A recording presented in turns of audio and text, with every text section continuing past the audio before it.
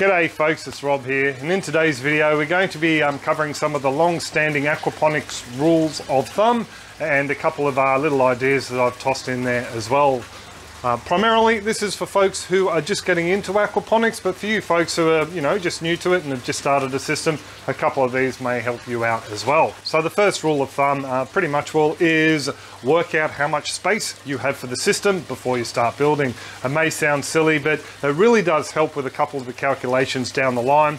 You know, you've got to make allowances for things like the fish tank, uh, the grow beds, a sump tank if you're going to include one in the system. Um, allow space for that if you're not tucking it in under a bed.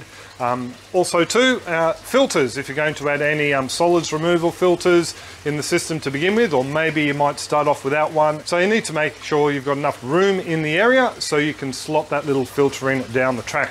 And with the grow beds, you need to work out um, how many grow beds you've got because they will help you work out how many fish you can actually run in your system.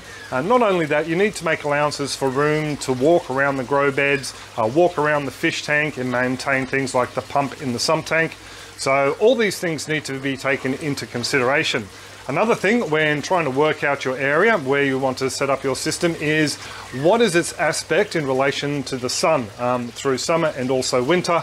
Uh, what we're trying to do is get at least four to six hours worth of sunlight on the grow beds themselves to help them grow. Uh, if you're in a hotter climate, maybe you want to shade your fish tank or maybe if you're in a cooler climate, you want your fish tank to be in full sun to try and collect some of that heat to keep your fish nice and happy. So rule of thumb number two pretty much will involves the stocking rates for your aquaponic system.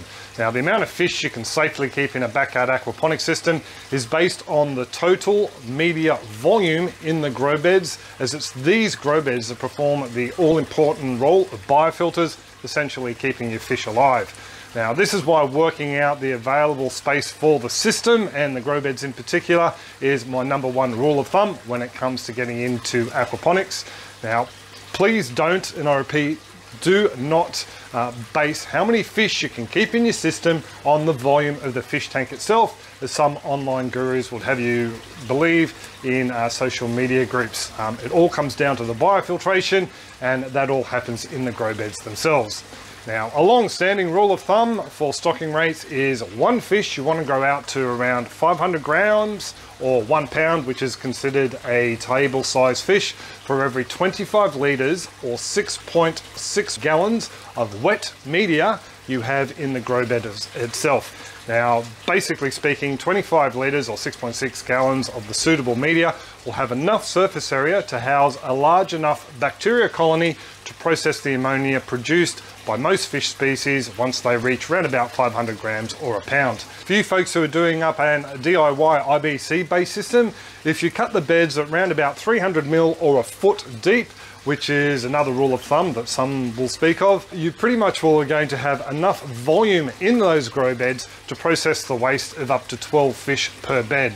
Now this recommended ratio is fantastic for anyone starting out in backyard aquaponics. They can be tweaked a little bit um, with different technology and whatnot, but I would suggest uh, that you run a couple of batches of fish through your system before you decide to do too much tweaking and definitely read up any information you can find online. So while we're talking information you can find online, a bit of a plug for myself, I've recently released a backyard aquaponics beginner's guide through the Retrieve platform. Thank you for the help folks.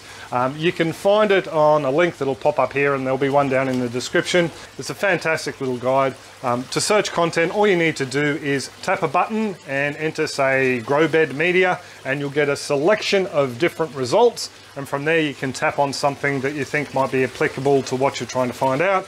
Um, you can scroll through the um, transcript itself, tap on bits of the transcript and it will take you to that section of the guide.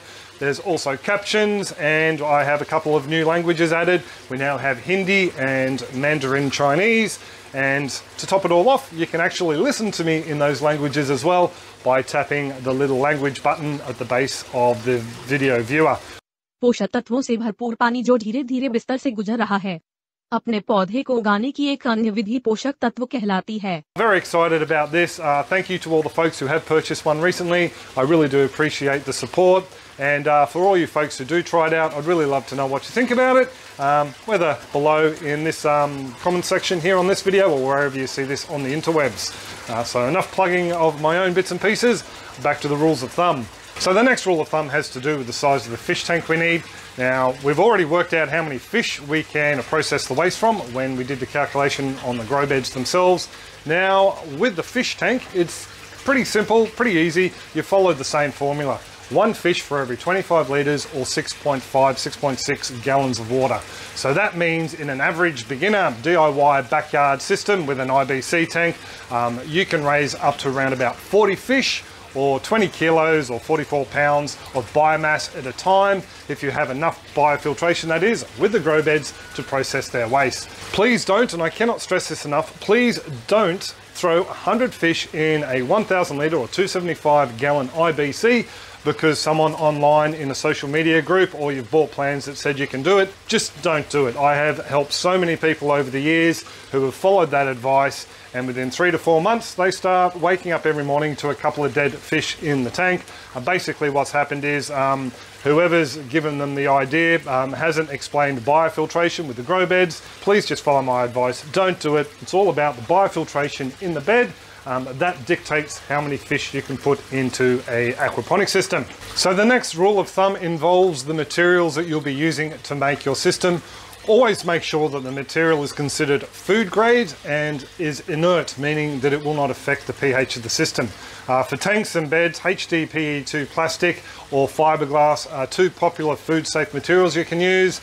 Don't use unsealed concrete. I've seen a few people do that. Uh, basically what's going to happen is over time it will raise the pH of the um, water and you can have issues, not so much with the fish, but with the plants um, getting nutrient lockout High pH basically means some elements aren't available to them. Uh, likewise, any rock that you're going to use as media within the bed, it's a good idea to give it a pH test first before you buy it and put it in the system. A very easy one is a vinegar test. All you need to do is cover the media with uh, some white table vinegar or cooking vinegar and just wait a while and see if you see any bubbles streaming up from the media itself if you do see that, um, that's basically the acid in the vinegar breaking down some of the carbonates in the rocks and releasing carbon dioxide and not a very good media to use. Keep searching for something else uh, that is more acceptable. Uh, River Rock's a good one here in Australia or Blue Metal which is basically a road base made from basalt. Uh, another thing you can do is uh, just buy the commercial clay like we use here and there's other things like scoria or volcanic rock and expanded shale. Um, they're all pretty much all inert and yeah, fine to use as grow bed materials. Likewise with your pipe and hose work, check the regulations. I know that the PVC pressure pipe is definitely food grade here in Australia, but yeah, do check with the suppliers in your area as to what's usable. So the next rule of thumb is flow rate of water through the whole system. Uh, what we're basically talking about is um, moving the water from the fish tank through the grow beds so the bacteria can process the ammonia. Now a long-standing um, suggestion is to have the total volume of the fish tank pass through those biofilters at least once per hour. I personally prefer one and a half to two times an hour because it helps get those solids lifted off the base of the fish tank and delivered out into my solids filter. So the next rule of thumb ratio we're going to talk about is air, or more importantly, oxygen for the fish in the fish tank. It's a very basic one. Uh, the ratio we're going to use is the same amount of air as there is water in the tank must be delivered through there at least once an hour. Uh, what this will do is make sure there is enough dissolved oxygen in the water for the fish in a sensibly stocked system, even through um, warm periods in the year when the water temperature raises and the water doesn't hold as much dissolved oxygen. So removing solids from the system is my next rule of thumb, and there are many differing opinions on this subject, uh, not only whether you should or shouldn't do it, or how you go about doing it. For me, I like to remove them from the system so they don't get a chance to uh, build up in the grow bed and cause issues down the line. I like to use a radial flow settler myself to remove them as soon as they leave the fish tank and I do have a video on it and you can um, check it out down in the description after you finish watching the clip. For me, I think it's a good idea to remove them.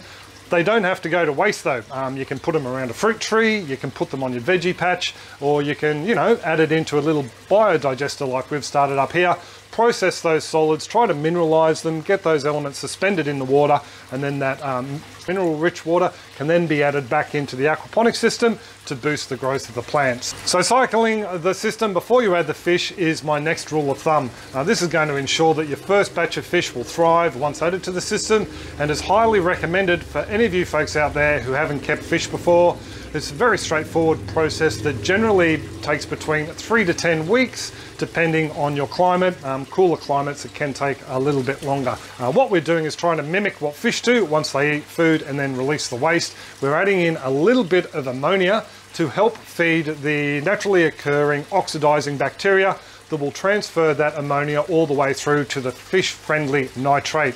Uh, now, I do have a video on this process as well, and you can find a link to that down in the description once we've finished off here. And for the cycling, I definitely recommend that you buy a freshwater test kit so you can get daily readings on the ammonia, nitrite, and nitrate, just so you can monitor the progress and know once the system is finally cycled. Uh, you're going to know when it is cycled when you get zero parts per million of the nitrite, probably about up to about 0.5 parts per million of ammonia and a definite nitrate reading in the system. And once those levels stay stable for around about four to seven days, the cycling process is complete and you can get busy ordering your fingerlings for the system.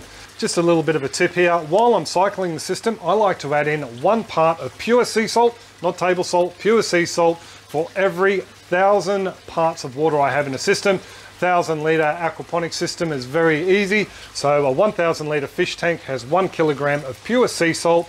And what that will do is it will guard the fish once they're added against any brown blood disease. Uh, basically, brown blood disease is a nitrite poisoning. It affects the fish's ability to hold on to oxygen in their bloodstream and yeah they pretty much will die very quickly so uh, swimming pool salt is the cheapest way to buy it if you know someone who has a saltwater pool grab a little bit off them because yeah you don't really need a lot in an aquaponic system generally speaking so definitely something I would do at this point uh, just to guard against any issues further on down the line. So rule of thumb at number nine pretty much all goes hand in hand with number eight cycling the system Plant out the grow beds as soon as you start the cycling process. Now don't get too carried away though and plant out the whole system.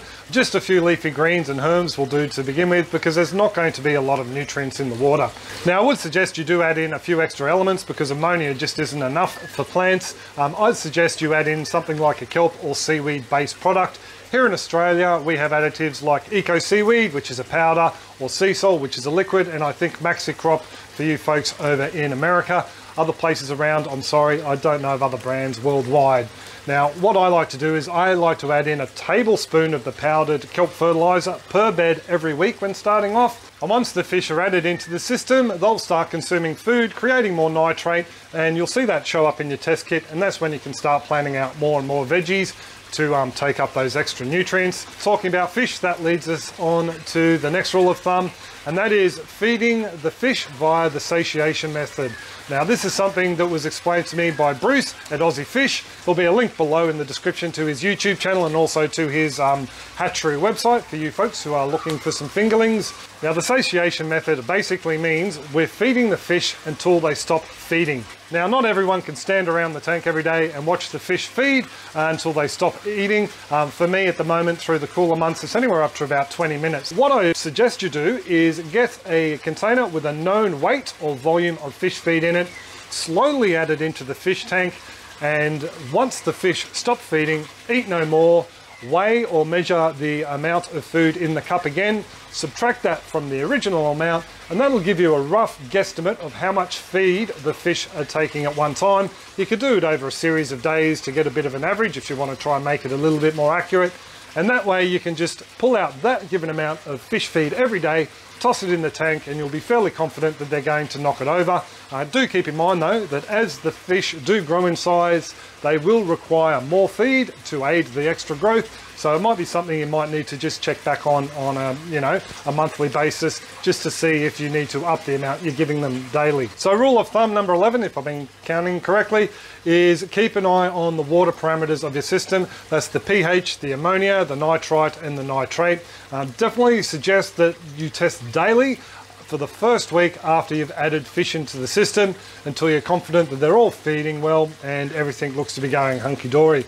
Now, a few days a week after that, and then once you hit the, about the one month mark, you could probably settle down to every second week to a month if you're comfortable that all the water parameters are staying nice and level. So there are two tests that I do on a daily basis here. At the moment, because it's winter, I test the water temperature and yeah, it's a little bit too low to feed the jade perch today. It's only 18 degrees, so they can wait until it warms up a bit. pH wise, I like to make sure that my pH is always between the 6.5 and 7 pH range. That's a happy medium for both the fish and the plants. And this will probably max out somewhere around about 6.7 to uh, 7 I think today. Uh, just these meters just make it so much easier. It's just a press of a button and away you go. Uh, you can also get little pen uh, pH and temperature meters as well and I definitely think they're a great investment because it's just a matter of coming out and um, yeah pressing a button to get um, the, the results that you want rather than having to do a um, chemical test with the test kits. If you do notice the fish are going off their feed for whatever reason, do stop feeding immediately. Once you work out what's going on and you've sorted the situation out, then you can start feeding again. Um, but I would still just recommend that you start testing regularly again after that event, just to make sure everything's going smoothly. Now, I think that brings us on to rule of thumb number 12, which is get out there and enjoy the system. Uh, take the kids out, take the friends out, explain what's going on. Um, ask the kids if they want to plant their favourite veggie in there. And if they don't like veggies, get them to plant a strawberry or two in there, something that they can harvest for themselves and enjoy and get them connected into the system. Uh, likewise, I would suggest that if your kid is old enough, that you bring them along when you harvest and process the fish. Uh, I really do think it's important the kids see the full cycle of um, where their food comes from. And if you're growing, you know, fish in the backyard, um, bring them them along for the harvest if you think they're mature enough, um, the harvest, the cleaning, even the prep itself. Show them how you cook it, and I can guarantee you're going to be mighty chuffed that very first meal of fish you've harvested from the system with a side of salad from the aquaponics or from the veggie patch down the back. Definitely something for you to look forward to. So I hope these rules of thumb have helped you aqua curious folks out or you folks who've already got a system and just needed a couple of pointers. Uh, don't forget if you want more information, loads of videos on the channel and I also have that guide available for you to buy. $10 US, there will be a link definitely in the description and a little button will pop up at the end that'll take you to our website and explain a little bit more about it. Uh, before I go, I really would like to thank you all for coming along and thumbing up the videos, leaving the comments and sharing them around with your family and friends. I really do appreciate it. Helps push the videos in the algorithms. Uh, for you folks who are helping to support the channel through the YouTube membership platform and Farm Your Own Yard website, I would like to thank you very much. Really do appreciate the ongoing support, folks. I will pretty much all leave it there, folks. I do hope your gardens and your aquaponics are booming and I will catch you next video. Cheers, folks, and happy growing.